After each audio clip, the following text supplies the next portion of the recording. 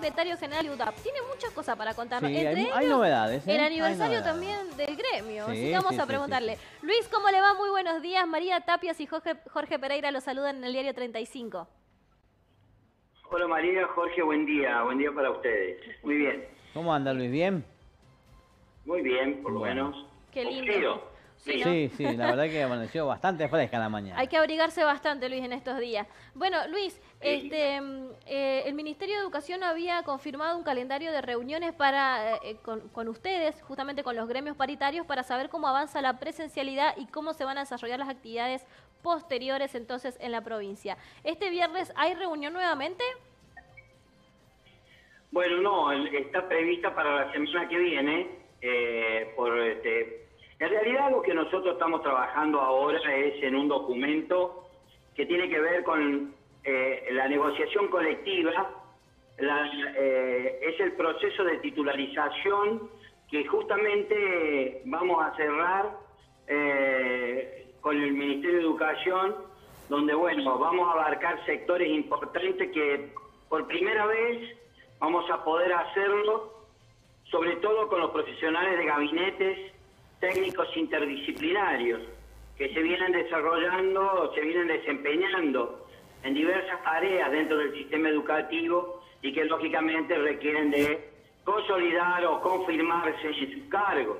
Es por ello que, bueno, ese es el, el- tema eh, fundamental de las convocatorias para resolver. Pero no queda exento eh, discutir los temas que tienen que ver con la presencialidad cuidada y voluntaria para los alumnos que se viene desarrollando en el ámbito jurisdiccional, ¿no?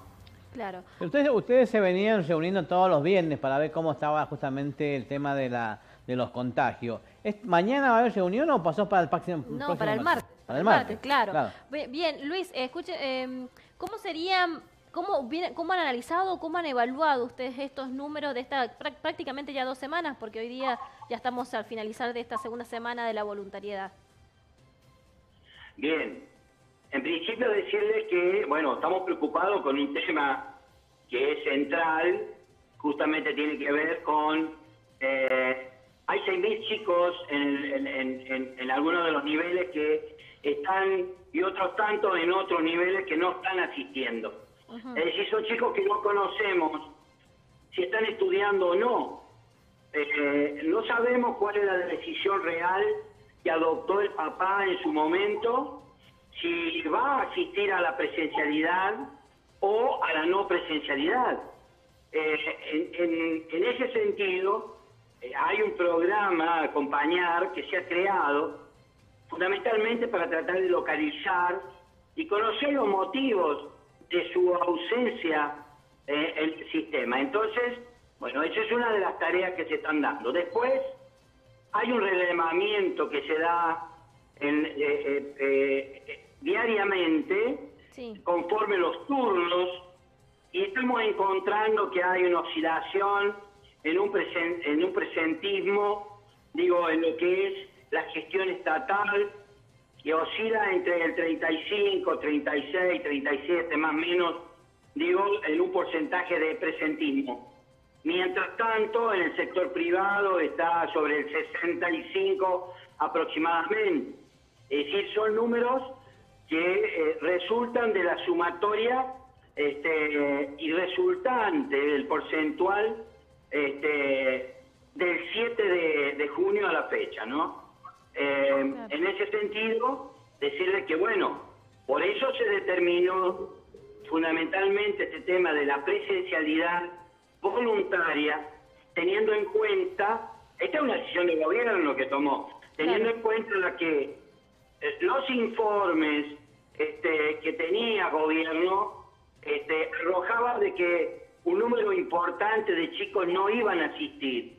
Y el gobierno tiene la responsabilidad ¿no? de garantizar la educación a todos los chicos, desde la escalita de cuatro hasta el sexto de la escuela secundaria orientada y hasta los séptimos de la agropecuaria y técnica. Entonces, tomó esa decisión también de proteger a aquellos que, en razón a la decisión voluntaria de los padres decidió no enviar a los chicos. Entonces, en ese formato, no tenían alternativas para poder este, seguir estudiando este, a la par de aquellos que sí asisten a los establecimientos educativos.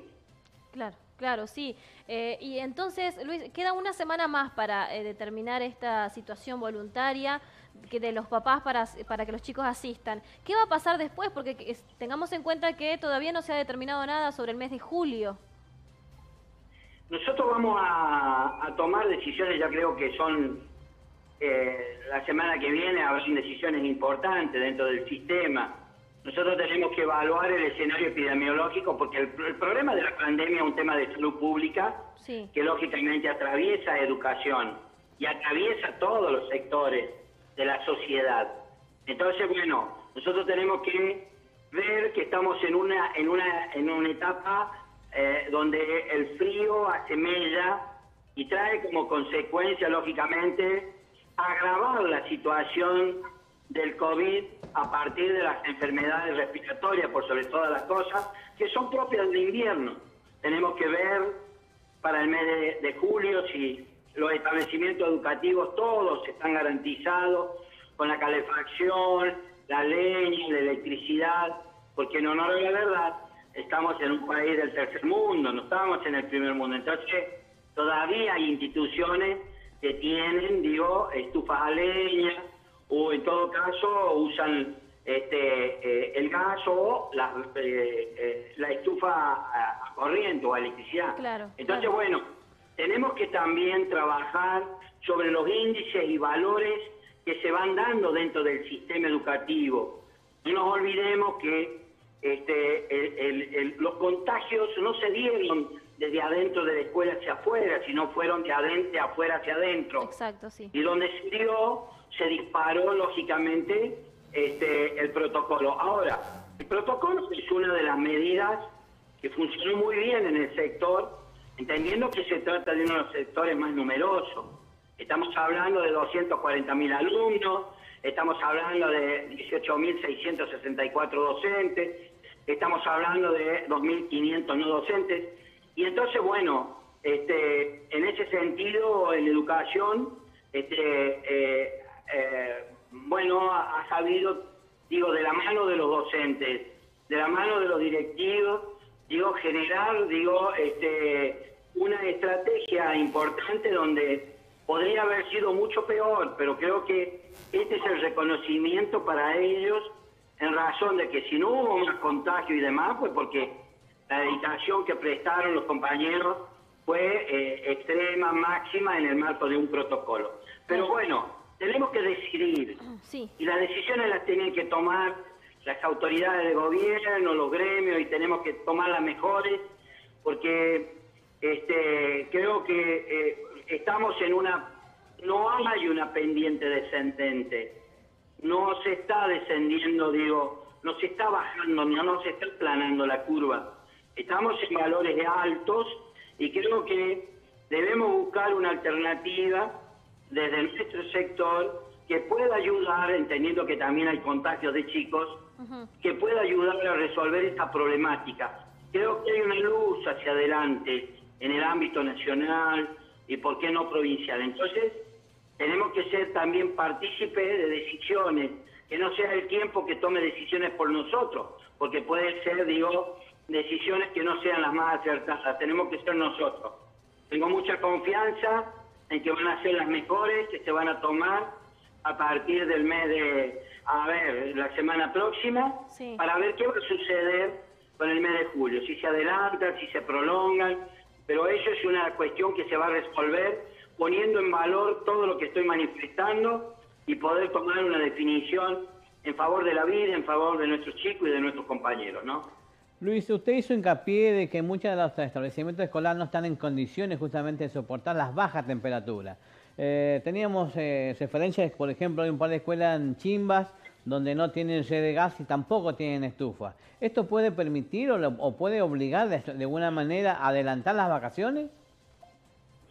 Mire, todo lo que se pueda sumar, digo, para que eh, el, frío, el estado de los edificios, las enfermedades respiratorias, el COVID, eh, los contagios, es decir, la, tasa de, mortalidad y demás, son todos elementos a considerar. Todo eso se tiene que poner en valor para tomar una decisión. Eh, pero para ello necesitamos salud pública que nos dé una información precisa, este, eh, eh, arquitectura, Ministerio de Educación, los gremios. Decir, nosotros sabemos cuál es la demanda hoy por hoy de los docentes. Yo les, por ejemplo, en, la, en el departamento de, de, Valle Fértil en este momento se determinó a través del Consejo Deliberante de la Municipalidad, de la, de la, de la de policía, es decir, seguridad, de, educación, a través de los directores, a través de los supervisores, que el día lunes, como es feriado, no hay actividades, pero el día martes se comienza con una desinfección que va a durar por tres días, martes, miércoles y jueves, y el día viernes es un día de ventilación, de aireado y demás, este, es decir, que hay una semana de, de pausa, de no asistencia, que justamente este, tiene que ver con el escenario epidemiológico del departamento. Amerita que se tome esa decisión, por eso las autoridades del departamento lo han hecho, ¿no? Así que no todos los departamentos están en las mismas condiciones, pero bueno, digo, esto también hay que considerarlo, ¿no? Bien, bien, Luis, eh, van a tener en cuenta ustedes también el, reclamo de no solamente de los papás, sino también de muchos docentes de ver cómo se pueden mejorar las situaciones edilicias en las escuelas y que bueno que puedan contar con esta calefacción que está faltando y mucho en la provincia. Mire, esto arranca como un hecho histórico. Sí. El tema de los edificios, yo recién le dije, estamos hablando de un país que tiene establecimiento educativo del tercer mundo hay establecimientos que tienen más de 150 años. Este, entonces, bueno, nosotros tenemos que pensar que eh, es global, no es un tema específico de la provincia de San Juan, que hay que mejorar el presupuesto de, asignado a salud pública, asignado a seguridad y asignado obviamente a educación.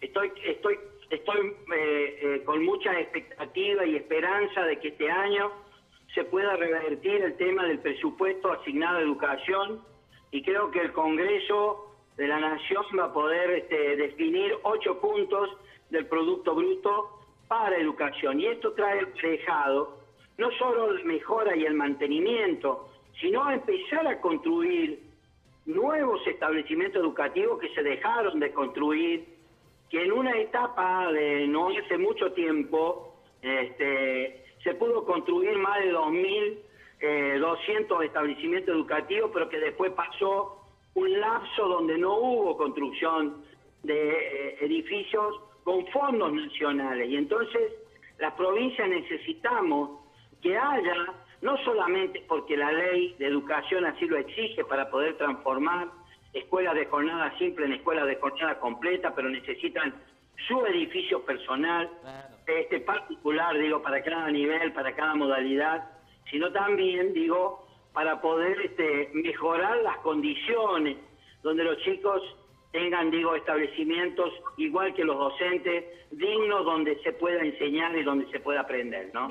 Acá de nosotros, eh, Luis, le cuento que hay una escuela secundaria muy conocida en Capital, ahí Avenida Rioja y Santa Fe, y los chicos del primer año están yendo con frazada del frío que está pasando. No, le escuché bien. En una escuela secundaria de Capital, ahí Avenida Rioja, entre Tucumán y Santa Fe, eh, los chicos de, primer año estaban asistiendo con frazadas del frío que hace justamente en los cursos. Sí, claro. A ver, eh, bueno, cada uno ingeniará o buscará el ingenio para poder, digo, este, sobrellevar este, este tema. Imagínese lo que debe ser, por ejemplo, una escuela en Angualasto. Sí, es difícil, ¿no? imagínese lo que puede ser una escuela en Gualcamayo o, este, en Sierra de Chávez o en lugares donde, bueno, las temperaturas de estos días han sido muy bajas, donde este, eh, hay, hay departamentos donde la nieve ha sido, digo, este, un hecho eh, que lógicamente ha agravado la situación. Pero bueno, eh, evidentemente son, son situaciones muy delicadas que hay que contemplarlas el día 25 a los efectos de ver cómo vamos a seguir, cómo vamos a terminar junio, cómo vamos a empezar julio y cómo lo vamos a terminar a julio. Después analizaremos agosto. Pero por ahora creo que para no adelantarlo, entendiendo la incertidumbre en la que estamos, este, no adelantarnos, digo, a, la, a los hechos porque estamos viviendo el día a día. Y entonces, bueno, creo que falta poco para poder sentarnos a discutir y poner en valores lo que nos está sucediendo en el país y sobre todo lo que sucede en nuestra provincia. Luis, leímos por ahí que a lo mejor existe la posibilidad de pedirle al gobierno que adelante el 7% del, del aumento en paritarias que estaba previsto para octubre, lo, que hacían más adelante. ¿Es, cierta la información, Luis? Bueno, eh, eh, en principio me quedo con esa parte que viene planteando, decir, las estrategias que se, que se dan, este, eh, digo, siempre, siempre suceden, por algún lado surgen las preguntas, alguien las impulsó, alguien, o la necesidad misma, uno la puede advertir. Lo cierto es que nosotros tenemos que evaluar, porque tenemos homologado en el acta del mes de febrero, cuando cerramos salario, que en julio nos sentábamos a discutir para evaluar cómo fue el primer semestre y qué pasa con el segundo. Nosotros tenemos en cuenta que a este momento, haber tenido 4.3 en el mes de abril, 3.3 en el mes de mayo, un acumulado de 21.3, bueno, este, es necesario poner también esto a discusión. Tenemos que ver este, cómo vamos a llegar al mes de julio, que nos falta un mes, cuál es el porcentaje este, de la inflación en el primer semestre eh, generado otorgado por eh, la medición de INDEC Nación, para luego poder sentarnos a discutir la estrategia, no solamente cómo llegamos, sino cómo seguimos.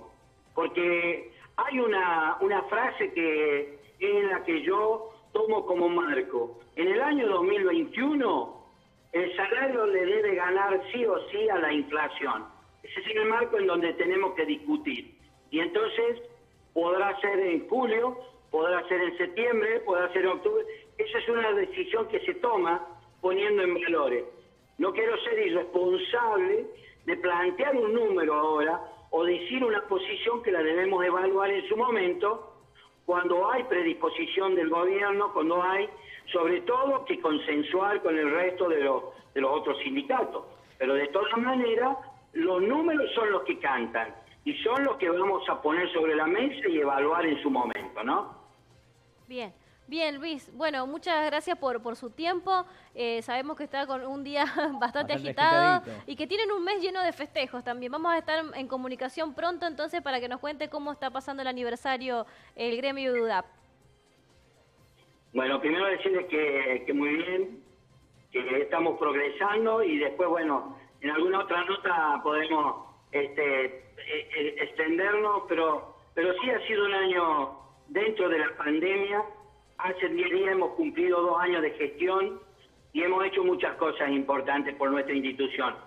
Se pueden ver, se pueden tocar, con mucho trabajo, con mucha dedicación, con honestidad por sobre todas las cosas, buscando credibilidad por sobre todo. Y bueno, agradecerles a ustedes porque siempre están, agradecerles al, al medio porque nos da la posibilidad de llegar a toda la comunidad, sobre todo docente, este, y lógicamente, bueno, tratando de, seguir ganando derechos en favor de ellos, porque nuestra institución es un gremio por sobre todas las cosas, y queremos que las cosas sigan, sigan mejorando en favor del sistema, ¿no? Bien.